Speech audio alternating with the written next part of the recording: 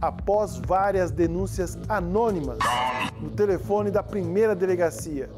Quando chegou lá o suspeito de ser o dono da boca de fumo, acabou se lesionando. Que coisa, né? Ai. Meu Deus. Alfredo Neto, conta pra gente. Parece que nessa boca de fumo aí tinha também o idoso do mal lá, o vovô do capeta, ou o vovô do, do, do fumo?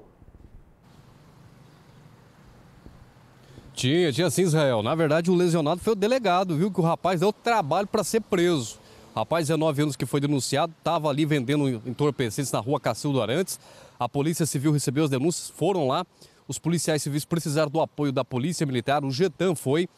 Um idoso de 66 anos que teria emprestado dinheiro para o traficante foi cobrar a dívida e levou droga como pagamento, algumas pedras de crack, dizendo ser usuário e denunciou que o rapaz vendia droga assim e teria pago a dívida com drogas. Ao entrar na, na residência que seria a boca de fumo, o rapaz de 19 anos reagiu à prisão, partiu para cima do delegado para tentar fugir e não ser preso, acabou causando lesões no delegado, foi preso em flagrante por tráfico de drogas, desacato, desobediência e também por lesão corporal.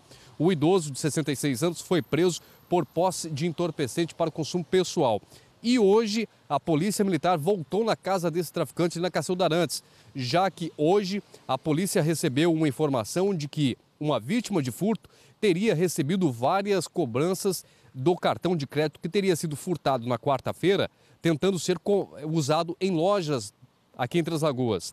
Ela conseguiu a identificação dos autores, chamou a polícia militar e, para os policiais militares, os dois homens relataram que teria pegado o cartão com o traficante de 19 anos preso ontem, tentado comprar em uma tabacaria na rua Antônio Estevão Leal, não conseguido comprar, devolveu o cartão para o traficante e hoje eles estavam nessa tabacaria de boa quando a polícia chegou e prendeu um homem de 23 e o outro de 46 anos, Israel.